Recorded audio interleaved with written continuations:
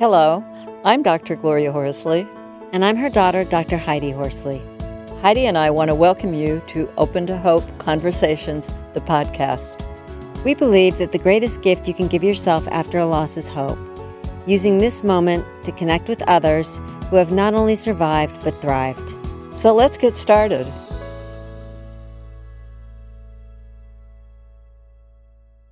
Welcome to the Open to Hope Show. I'm your host, Dr. Gloria Horsley, with my daughter and co host, Dr. Heidi Horsley. These shows are brought to you by the Open to Hope Foundation. Today, we're going to be talking about honoring death unrelated to COVID 19. I don't know if you realize it, but in the United States today, there are over 7,000 people will be dying daily. And over the course of the COVID 19 in New York, a little over 7,000 people have died over the full course. So, the point that I'm making today and that we want to talk about is the fact that people are dying in the United States where their loss is not being as recognized because of the COVID virus. And we would like to honor those people today and talk about these disenfranchised griefs with an expert in the field of grief and loss. Would you like to introduce our guest today, Heidi? Sure. We have a guest here today that we know well. His name is Dr. William Hoy, and we met him at the Association for Death Educators and Counselors, where he is on their board of directors. He's given an incredible amount to the grief and loss world. He is a clinical professor of medical humanities at Baylor University and an author and leading expert in bereavement and pastoral care. Welcome to the show, Bill. Thank you, Heidi. Thank you, Gloria. Great to be Great to have you on. Well, let's talk about this. I know someone told me that they were feeling unacknowledged and feeling alone in their grief because uh, they had a spouse die a month ago of an unrelated uh, illness to the COVID virus. And it's a difficult time for people, isn't it? It is. Our friend Ken Doka talks about this being disenfranchised grief. It is mm-hmm. that grief that is uh, socially unacceptable to talk about, or it's grief that is uh, sent underground for uh, because of stigma or just because it's uh, out of the public view. I had a funeral director just this week tell me that he was taking care of a family, and the widow, uh, whose husband died of um, end stage heart disease, um, said rather plaintively when she was um, making funeral arrangements, I believe was the, the context for the conversation. Well, I guess our, our grief doesn't really count because my husband just died of a heart attack. And, and, I think there's so much of that sense among people um, whose deaths were not by COVID 19. And, and that's not to take anything away from the people whose loved ones are dying every day from COVID 19. It is simply to acknowledge. I, I agree with you, Bill. And it reminds me of, of a friend that's brother died on 9 11 in a car accident. And she said to me, I have shame around the fact that my brother didn't die in the World Trade Center. Mm-hmm. It's almost embarrassing. And I didn't really, she said, because people react in, in a very, like you said, in a disenfranchised way when they hear how he died on 9 11. You know, I'm also thinking about the military because I know we're all know Bonnie Carroll and the TAPS program. And uh, one of the things that they have become disenfranchised if they didn't die in battle. Mm-hmm you know, if they had a heart attack or an automobile accident, you know, when they were on leave or furlough or whatever. So, um, you know, it, what is really difficult now is I think we have denied or we disenfranch grief or we kind of ignore it. Suddenly it's being thrown in our face with the COVID. I mean, it's quite shocking to see stacks of bodies on, on TV. I mean, it's, mm-hmm. it's really quite disturbing. It is. You know, it, you're, you're exactly right in, in sort of a humorous way. And I guess this is gallows humor, maybe, but my wife was uh, saying something to me earlier today about the number of, uh, of media interviews that I've done in the last three weeks. And it's more than I've probably done in the last 15 years. Mm-hmm. And I've been quoted in, in uh, newspapers and on uh, internet and, and news broadcasts all over the country, all over the world, actually and and I said, you know, it's funny when you have a narrow enough niche. One day your niche comes in, and mm-hmm. and the it's a it's sort of a sad thing to say, but everybody's talking about death and funerals and how do we socially support grieving people right now. So uh, you're right, yeah. So, how do we? I think there are a couple of things that I'm really concerned about. Uh, one of them is we do not need to punt rituals down um, into the late summer or early fall to have. Um, I think we have to find creative ways to do rituals now when they are contemporaneous with the grief, uh, mm-hmm. uh, with the death. We, we don't need to punt them down the road. Now, I think there's some creative things to do. For example, when a person dies now, um, I, I uh, heard just this week of a, a, funeral provider in the upper Midwest, I believe, and they were holding um, parking lot funerals. And so uh, the immediate family gathers, you know, their maximum of 10 inside the chapel, everybody six feet apart, um, doing, doing that piece. And then through Facebook Live, everybody sitting in their automobile, all the friends sitting in their car out in the parking lot with their phones in their hand, watching the funeral inside on their phone. Oh, then, when the family exited the chapel to bring the casket out to the hearse, everyone in the parking lot turned on their headlights. And then they uh-huh. all followed in solidarity in an old fashioned funeral procession.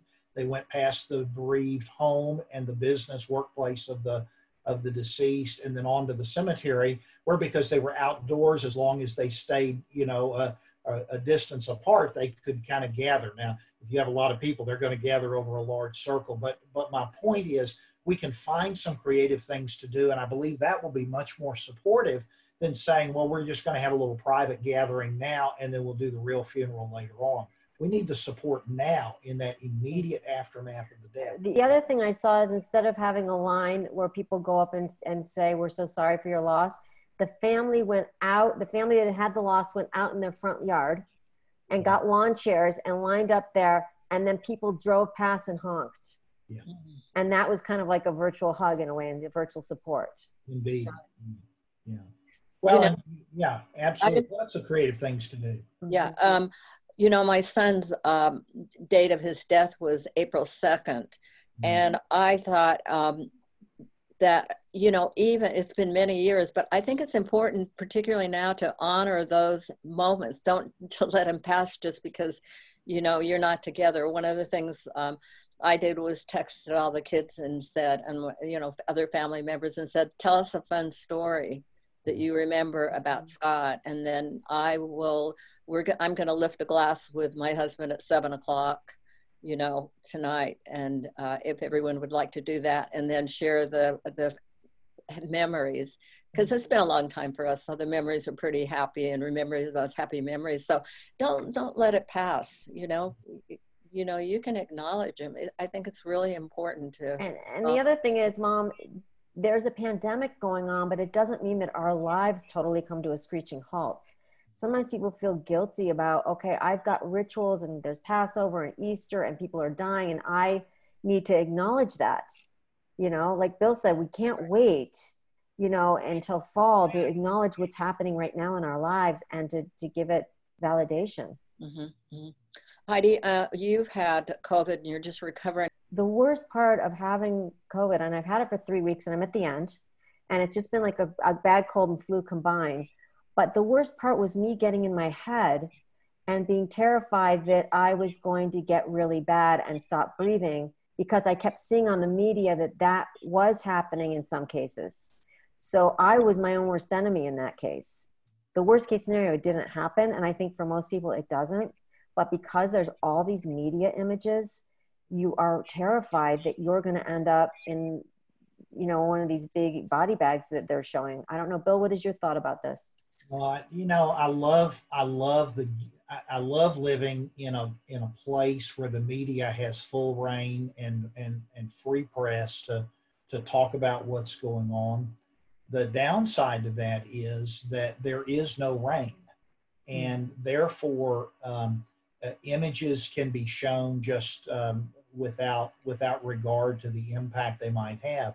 And the problem is the media is not, you know, the, the journalists are not epidemiologists. They don't deal in the numbers. They um, they report uh, numbers of deaths and and every day it's like those of us who are old enough to remember when Walter Cronkite every evening on the evening news mm-hmm. reported the body count from Vietnam, but they're just numbers. They're um, and and as Heidi started out the top of the show saying, you know, if we have 240,000 deaths in the United States this year, which nobody in the public health uh, uh, circles believe now that we will. The number down now is down to around 60 or 80,000. But if we had 240,000 this year, that would only raise the, the total number of deaths in the US by 8%. We have 2.8 million people die in the US every year, year in, year out. Uh, more people, uh, if 240,000 die, COVID would be no higher than the number three cause of death. If the number is really um, 60,000 or 70,000, it, it will barely make it into the top 10. Mm-hmm. And that's not the that's not the image we're getting when we see all these bodies stacked up in mm-hmm. refrigerator trucks and in New York. Of the people that die in the United States, 90% of them are age related. And we have a, and they're going up a little bit because we have an older population. We take care of our population. But I'm going to have to say one thing here. I personally, I'm 80 years old.